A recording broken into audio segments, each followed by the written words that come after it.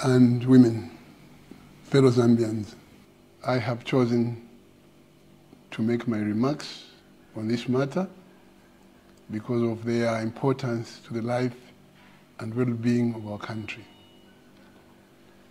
You are aware that recently there has been legal petitions against my eligibility to stand as a presidential candidate in both 2021 and the future.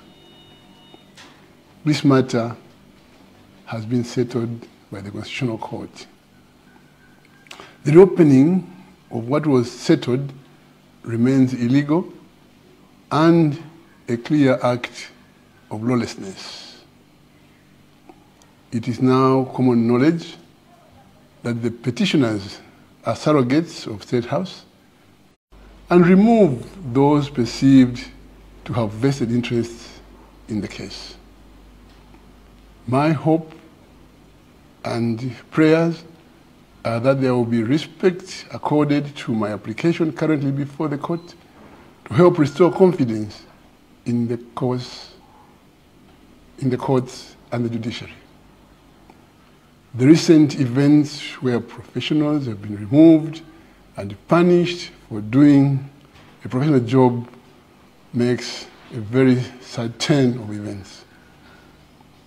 I have in mind the unconstitutional removal and harassment of the former Director of Public Prosecutions, Ms. Lilian Fulata Shawa Siyunyi, the Registrar of Societies, Tandiwe Phiri Muhende, and the recent suspension of three constitutional judges, among others.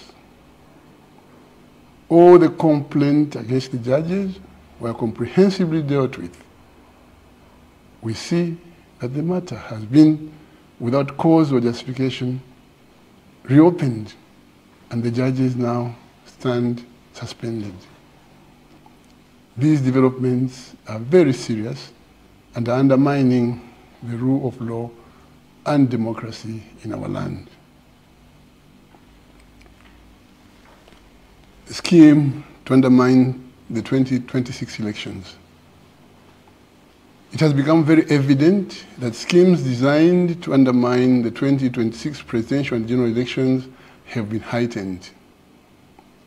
From secret issuance of NRCs or national registration cards to the secret registration of voters. The Electoral Commission of Zambia, ECZ, has not bothered to publicize this exercise and has not bothered to conduct it in an open manner. All these devious schemes are being implemented, implemented to attempt to destroy the opposition, decimate viable and credible candidates, and present an opportunity for the UPND to seal the 2026 election. Our call is that the participation of democratic institutions such as parliament, judiciary, and the Electoral Commission of Zambia in these illegal and dangerous schemes being perpetrated by State House would amount to the act of treachery and reversal to our democratic values and the democracy we constantly all aspire to achieve. These actions are threatening our national security and our cherished peace. We make this call to Zambians, who are the real custodians of both our peace and security, that democratic dividends earned so far must not be lost. Both our independence in 1964 and our democracy in 1991 were hard fought for, and the sacrifices made by our forefathers must never be sacrificed at the altar of political expedience and narrow partisan interests being perpetrated by President Hichilema. Instead of focusing on the numerous challenges and crises facing our country, such as load shedding, high cost of living, poverty, unemployment, lack of economic opportunity, volatile exchange rate, rising debt, and rising inflation, and the economic collapse that we face, President. Hichilema is engaged in schemes to retain power at all costs, even at the expense of destroying our democracy and the rule of law. What did he find when he assumed office? What was the price of meal, fuel, electricity, fertilizer, cooking oil, sugar? Ask yourself these questions. What was the price of mealie meal? What was the price of fuel?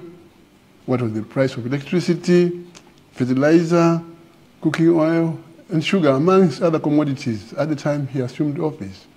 Today, in the case of